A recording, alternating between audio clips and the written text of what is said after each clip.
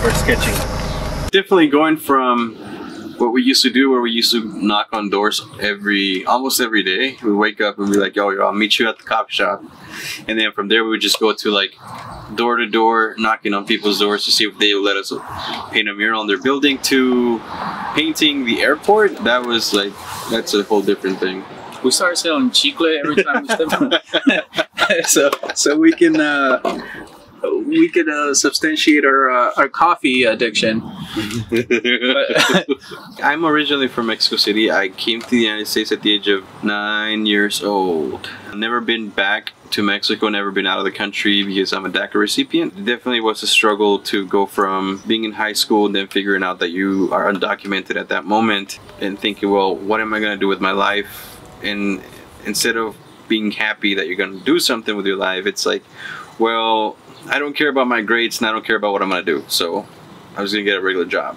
So it went from thinking like that to like that DACA passed, and then it's like oh, I got to get my grades up now. After a few years, that's when actually Rico would show up in, in my life again, and it was like, what am I doing? And I'm, I'm still doing my art on, art on the side, but I never thought it would be like this. I guess I never thought that like just talking to Rico would bring everything that has brought us to where we are right now. My story is somewhat similar. I'm originally from Uruguay though. I came here at the age of 14. I had an extremely hard time uh, trying to assimilate with the American way. When I got here and after I got done with high school, I didn't realize what it was to be undocumented. Like I didn't once kind of even had a glimpse of how limiting it was to be undocumented.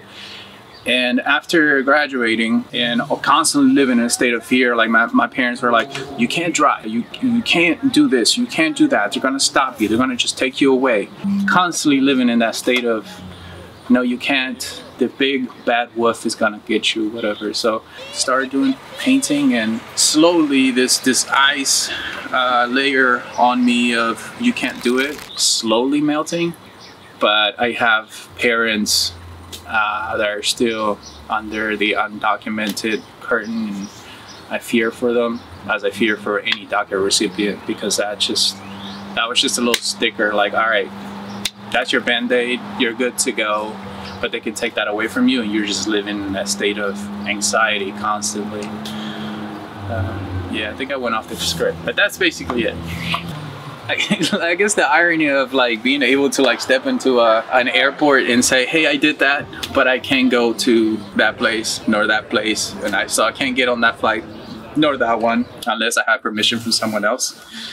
Uh, so it's kind of like it is super ironic. Yeah. While we were painting and we completely finished all of them, and it wasn't opened yet, um, they allowed us to bring some of our family members in and it was like almost like the first time in a long long long long time that they've stepped in foot into an actual airport. Yeah same for my parents. It had been like 21 years. It was cool to bring them in and, and show them like hey even if we can't if we can't leave here check our work out you know? So it's like being proud but at the same time it's like we're in a cage dude you know so, yeah.